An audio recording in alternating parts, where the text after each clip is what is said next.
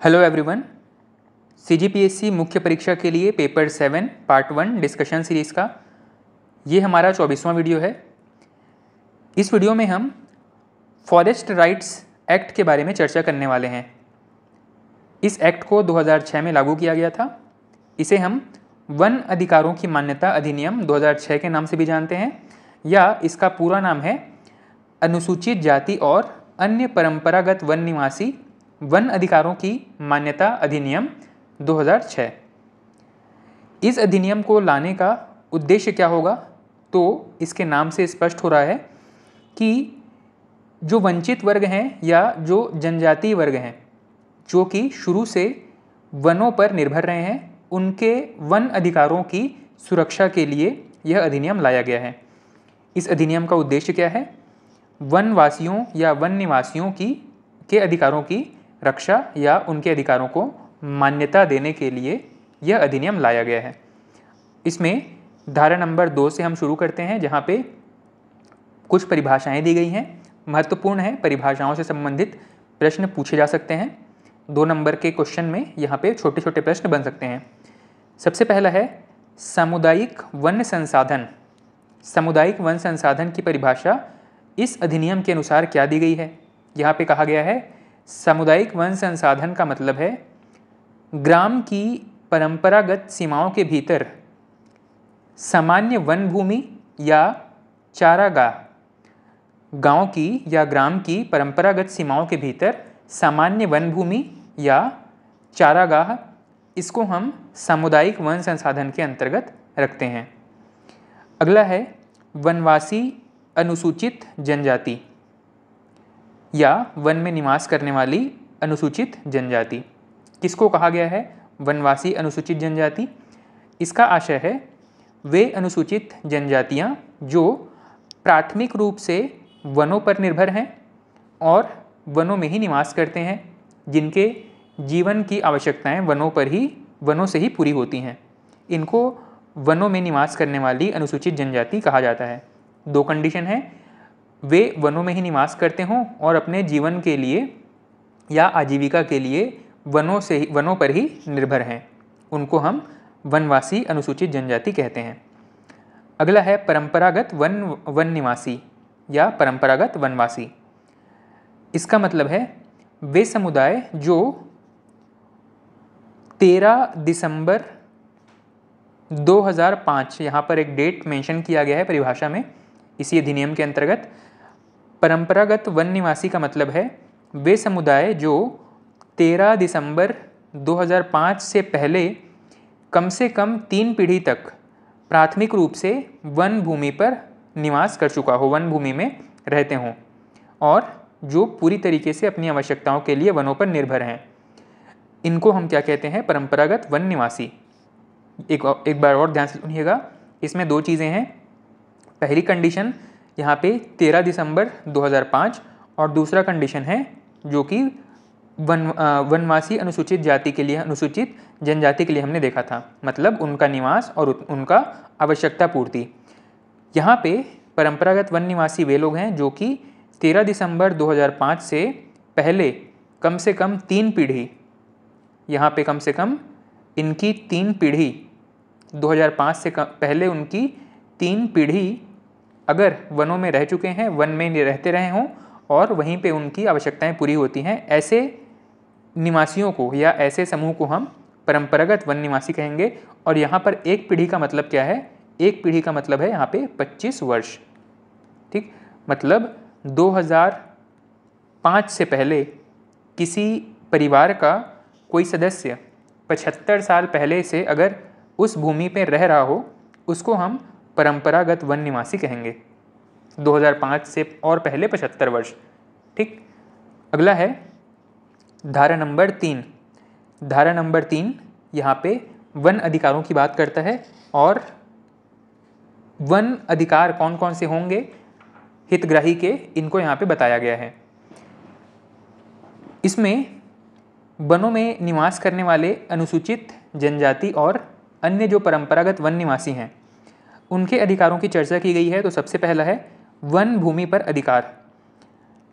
ये जो कैटेगरी हमने डिस्कस किया है, वनवासी, अनुसूचित जनजाति या परंपरागत वन निवासी इनको कौन कौन से अधिकार प्राप्त होंगे? तो सबसे पहला है इनको भूमि में, वन की भूमि में निवास करने का अधिकार प्राप्त है। अपनी आजीविका से संबंधित वहाँ से चीज़ें इकट्ठा करने का अधिकार है।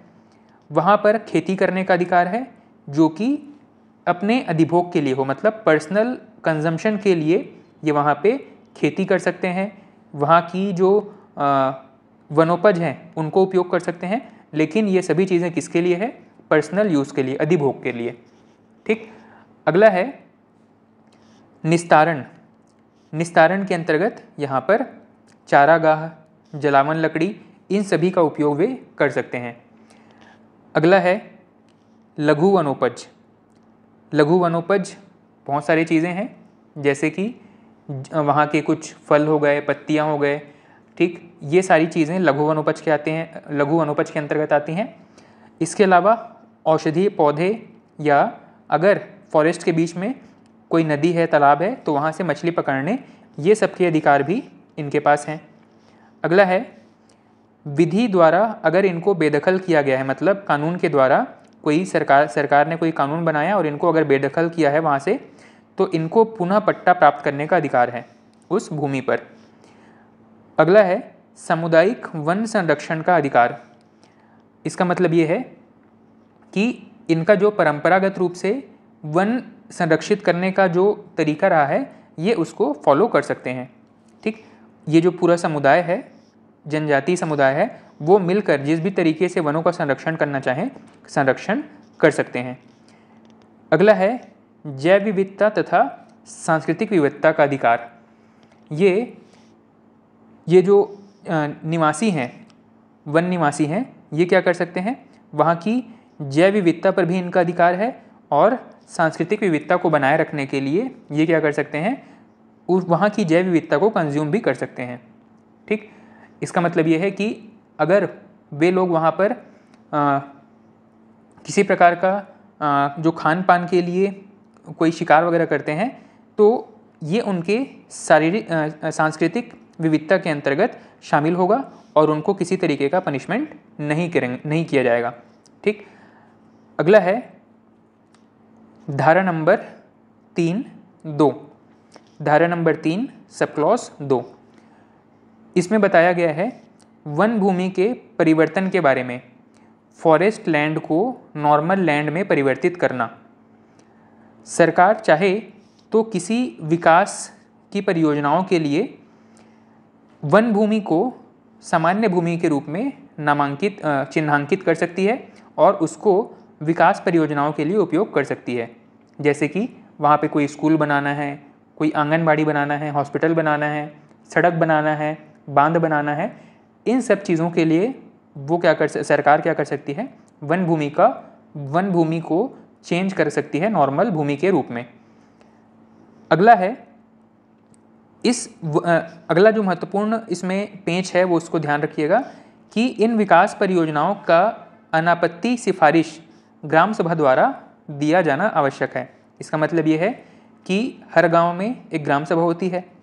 ग्राम सभा मिल करके, बैठ करके डिस्कशन करके, सरकार को अनापत्ति दर्ज कराएगी। अनापत्ति करने का मतलब है कि वो ये बताएगी कि आप जो विकास परियोजनाएँ यहाँ पे लागू कर रहे हैं, उनके, उनसे, उन परियोजनाओं से गाँव के लोगों को कोई आपत्ति नहीं है। अगर वो ऐसी सिफारिश करते हैं, तब इन विकास परियोजनाओं को आगे बढ़ाया जा सकता है। यही चीज़ बताया गया है धारा नंबर तीन सब क्लॉज दो में। अगला है धारा नंबर चार। धारा चार में बताया गया है मान्यताओं के बारे में। मान्यता कहने का मतलब है सरकार इनके फॉरेस्ट राइट्स को मान्यता देगी। अगर 13 दिसंबर 2005 2005 से पहले ये जो जनजातियाँ हैं या वन में रहने वाले लोग हैं वो साबित करते हैं कि वो 2005 से पहले उस भूमि पे रह रह, रह चुके हैं और वो उन्हीं फॉरेस्ट पर डिपेंडेंट हैं। ऐसी कंडीशन में उनके वन अधिकारों को मान्यता दिया जाएगा। अगला है धारा नंबर पाँच। धारा पाँच में कुछ कर्तव्य बताए गए हैं। वन अधिकार जो धारण कर रहे हैं, उनके क्या क्या कर्तव्य होंगे? इसका सीधा सा मतलब है कि वहाँ पे जो रहने वाली जनजातियाँ हैं या वन, वनवासी हैं, उनको कौन कौन से कर्तव्य पालन करने होंगे? सबसे पहला है जैव विविधता जैव विविधता का संरक्षण। वनों की रक्षा और जैव विविधता की संरक्षण की रक्षा के लिए यह इनके कर्तव्य में शामिल किया गया है। अगला है, वहाँ पर जो भी जल स्रोत हैं या अन्य संवेदनशील जो संसाधन हैं, उन सभी चीज़ों का संरक्षण करना भी इनका कर्तव्य है। अपने पर्सनल यूज़ या सामुदायिक यूज़ के लिए उसको कंज्यूम कर सकते हैं, पर उसका एक्सप्लॉयटेशन नहीं कर सकते हैं औद्योगिक उपयोग के रूप में। अगला है, सांस्कृतिक व प्राकृतिक विरासत को संरक्षित रखना। वनवासी या फिर जो जनजाति समूह यहाँ पे निवास कर रहे हैं, वो अपने संस्कृति और प्राकृतिक विरासत दोनों को संरक्षित करने के लिए प्रयास कर सकते हैं। अगला है, ग्राम सभा के विनिश्चय का पालन। यहाँ पे जो गाँव निवास कर रही है या जो वनवासियों का जो गाँव है यहाँ पे, इस गाँव की एक ग्राम सभा होगी और ग्राम सभा जो भी विनिश्चय करेगी, विनिश्चय का मतलब है निर्णय। ग्राम सभा किसी भी प्रकार का कोई निर्णय लेती है, उसका पालन करना सभी का कर्तव्य होगा। अगला है, धारा नंबर छः। धारा छः में बताया गया है प्राधिकारी और प्रक्रिया के बारे में। वन अधिकारों को लागू करने के लिए जो अधिकारी होंगे और वन अधिकारों को लागू करने संबंधी जो पूरी प्रक्रिया है, उन सभी के बारे में धारा छः में बताया गया है। इसमें बहुत डिटेल्स महत्वपूर्ण नहीं है। अगला है, धारा नंबर सात। धारा सात में बताया गया है, वन अधिकारों से संबंधित अपराध और दंड या शास्तियों के बारे में। जुर्माने के रूप में एक हज़ार रुपये तक का प्रावधान किया गया है। किसी भी प्रकार के वन अधिकार का उल्लंघन करने पर सरकार क्या कर सकती है? एक हज़ार रुपये का जुर्माना लगा सकती है। ये जुर्माना सरकार चाहे तो सरकारी कर्मचारियों पर भी लगा सकती है। अगर कोई सरकारी समिति है या कोई सदस्य है या कोई अधिकारी है अगर इस अधिनियम के अंतर्गत वन अधिकारों वन अधिकार जो दिए गए हैं, उनसे संबंधित कानूनों का उल्लंघन करते हैं, कोई सर, सरकारी कर्मचारी हैं, अधिकारी हैं, कोई समिति है, उनके खिलाफ भी यही चीज़ लागू होगी और उन्हें भी हज़ार रुपये तक का जुर्माना उनके ऊपर लगाया जा सकता है। ठीक इस प्रकार हमने इस अधिनियम के अंतर्गत, फॉरेस्ट राइट्स एक्ट के अंतर्गत जो महत्वपूर्ण प्रावधान थे, उनकी चर्चा किया।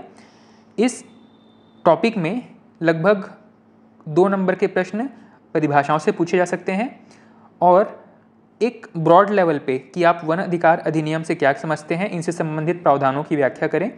इस प्रकार बड़े नंबर के मतलब दस आठ नंबर या पंद्रह नंबर के प्रश्न भी पूछे जा सकते हैं। वन अधिकार के बारे में पूछ सकता है कि कौन कौन से वन अधिकार दिए गए हैं। ये सारी चीज़ें हमको थोड़ा सा टॉपिक आपको पॉइंट पॉइंट कम से कम याद रहना चाहिए ताकि आप आप वहाँ पे उसको एक्सप्लेन करते हुए लिख सकें। इस वीडियो में इतना ही। Thank you